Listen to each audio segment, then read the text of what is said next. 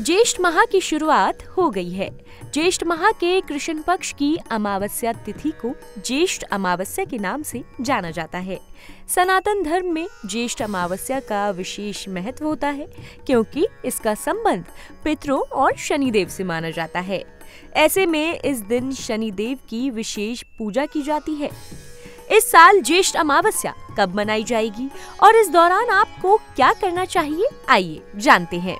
ज्येष्ठ अमावस्या तिथि और शुभ मुहूर्त।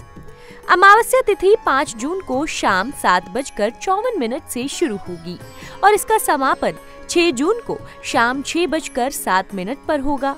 ऐसे में उदया तिथि के अनुसार 6 जून को ही ज्येष्ठ अमावस्या मनाई जाएगी। ज्येष्ठ अमावस्या पर क्या करें? ज्येष्ठ अमावस्या पर दान करने का विशेष महत्व होता है। इस दिन आप पितरों के लिए तर्पण और पिंड दान आदि कर सकते हैं। ज्येष्ठ अमावस्या के दिन सूर्य पुत्र शनि देव का जन्म होता है। ऐसे में ज्येष्ठ अमावस्या पर शनि जयंती मनाई जाती है। इस दिन आप शनि महाराज की विधि विधान से पूजा अर्चना करें और उनकी प्रिय वस्तुओं का भोग लगाएँ, जिससे शनि देव प्रसन्न होंगे और आपको मनचाहा वरदान देंगे।